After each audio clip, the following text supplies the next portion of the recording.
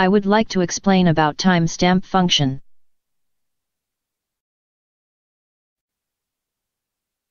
This function records the time data when an event signal is detected.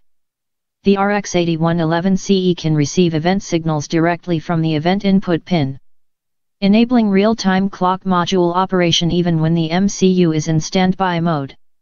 If MCU is constantly running on a battery, waiting for an event signal, the battery will run out quickly.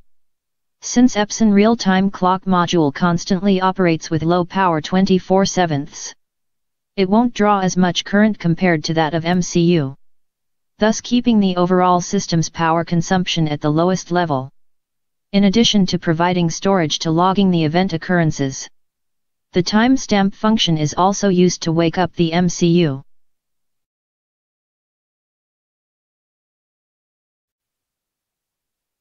How to work for timestamp function. I would like to explain application example that is maintenance for measuring instrument.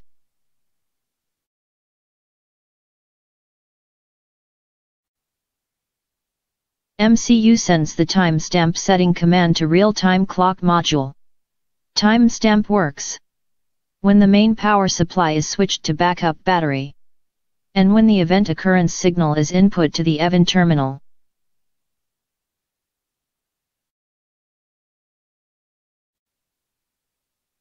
Main power supply turns off, due to maintenance for measurement instrument. This time, real-time clock module power supply switching to backup battery. MCU stop operation. Real-time clock module switching to backup mode. However, even if real-time clock module is backup mode, real-time clock module continuous operate time and timer counting. And accept trigger from event terminal and get timestamp data.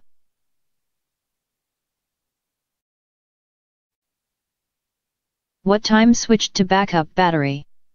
Real-time clock module can get the timestamp data, even if backup mode.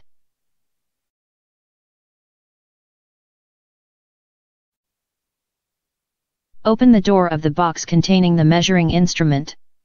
The push switch is pressed and the event terminal goes to ground. Then the event terminal changes from high to low. And this is recognized as an event occurrence.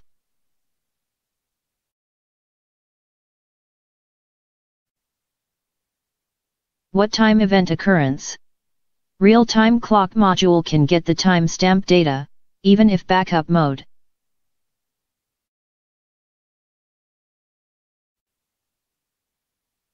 Carry out maintenance of measuring instruments.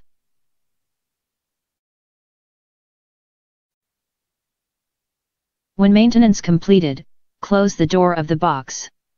Then main power supply on. Real-time clock module power supply switching to main power supply. Then real-time clock module goes to normal mode.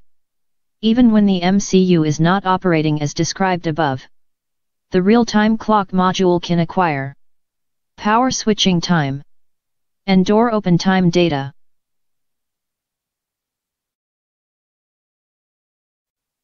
That's all. Thank you for your attention.